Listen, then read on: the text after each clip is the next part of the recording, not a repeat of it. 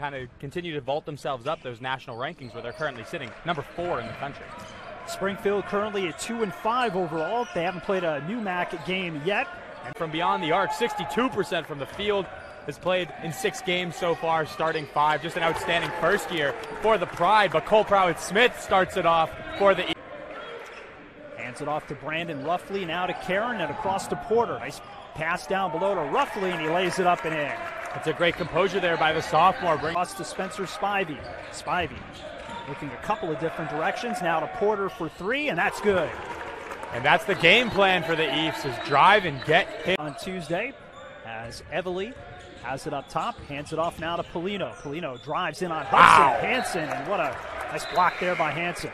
There he is. He underneath the basket. Able to find Porter in the corner. Now finds Hanson. And that is good. And the foul. Comes Spivey. Arnold's going to be up to three rebounds in this one now. Here's Ruffley. Nice bounce pass to Lee. And a foul here coming up against Springfield's John Polino. Tough pass there, but Karen was able to corral it. Now across to Hanson. Hanson drives. Nice move and lays it up and in.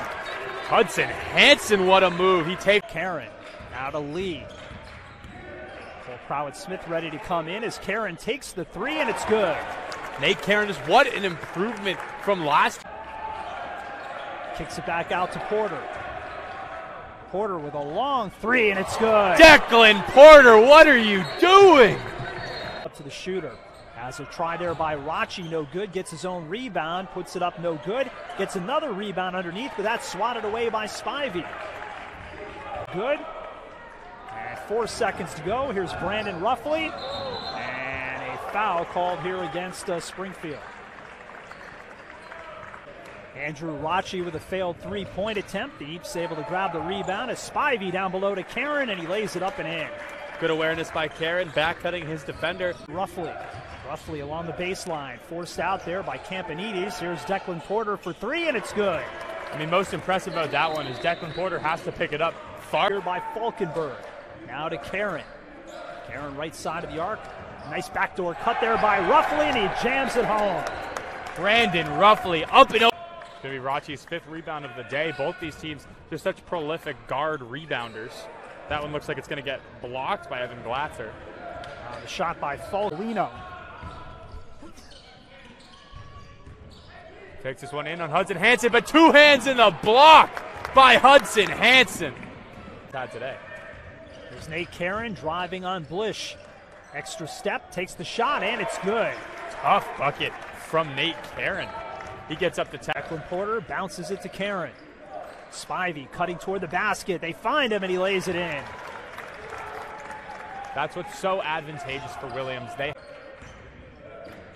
Spencer Spivey out of San Francisco, California. All alone under the basket. They find him and he gets another bucket for the Ephs.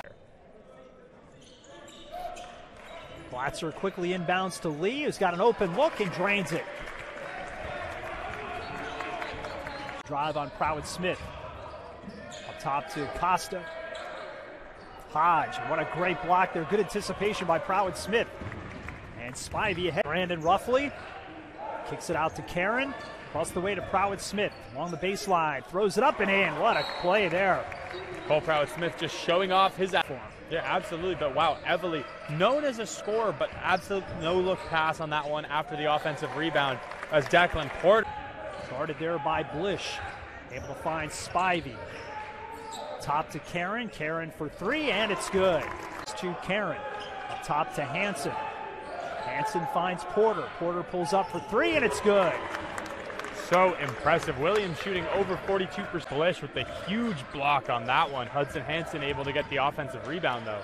Spivey for three, and it's good for Spencer Spivey. Takes it all the way and can't get, quite get it to drop. But Karen on the follow through, able to get the bucket. 67 46. And Glatzer will inbound here to Karen. Little backdoor cut by Hanson, and it's good. Hudson Hanson is just an and one machine to. Seen some action here in this game. Karen to Glatzer. Glatzer with some room, partially blocked there by Hartley, but a nice follow through by Hanson. Hanson just fields onslaughts Williams takes the win and moves to 9 and 0. What a performance here tonight, huh, John? Absolutely. Springfield drops to 2 and 6 on the year, and again, this will be the final game for the